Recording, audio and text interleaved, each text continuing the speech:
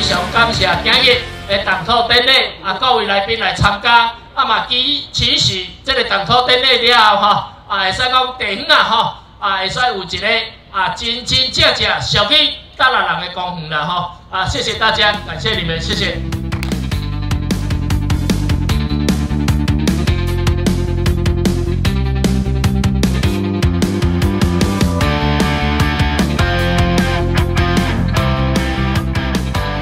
尤其啊，他愿意把哈啊这个环保运动公园哦，再投入更多的经费，让它变成一个啊亲子友善的一个空间哈，甚至呢有一些人文艺术的啊这样的元素在里面，那我们看了非常的欣喜，尤其是刚